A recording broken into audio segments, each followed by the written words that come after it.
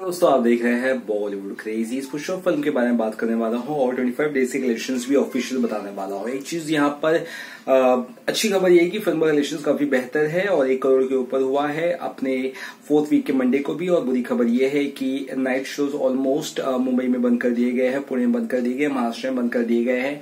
Last show जो है छह साढ़े छह बजे तक का यानी कि वो खत्म होते होते नौ बज जाएँगे। नौ बजे के बाद कोई भी शो यहाँ पे नज़र नहीं आ रहे हैं।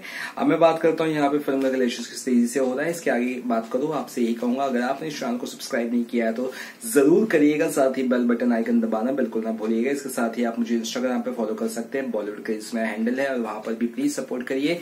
और मेरे सब्सक्राइबर्स काउंट को इंस्टाग्राम पर एक केक के ऊपर कम से कम पहुँचा दीजिए।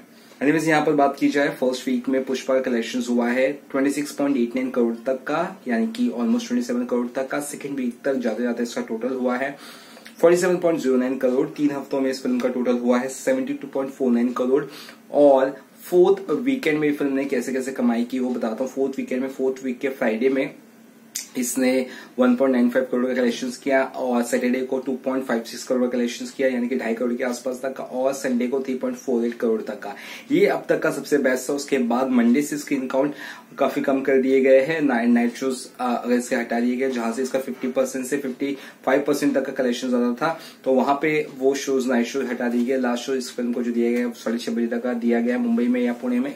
यानी कि नौ बजे, साढ़े नौ बजे तक फ़िल्म का थिएटर्स बंद हो जाएँगे। यानी कि इसका कलेक्शन 1.10 करोड़ आया एक करोड़ दस लाख का कलेक्शन आया है मंडे को, यानी कि फोर्थ वीक के मंडे को। डे 25 को और टोटल हो चुका है 81.58 करोड़।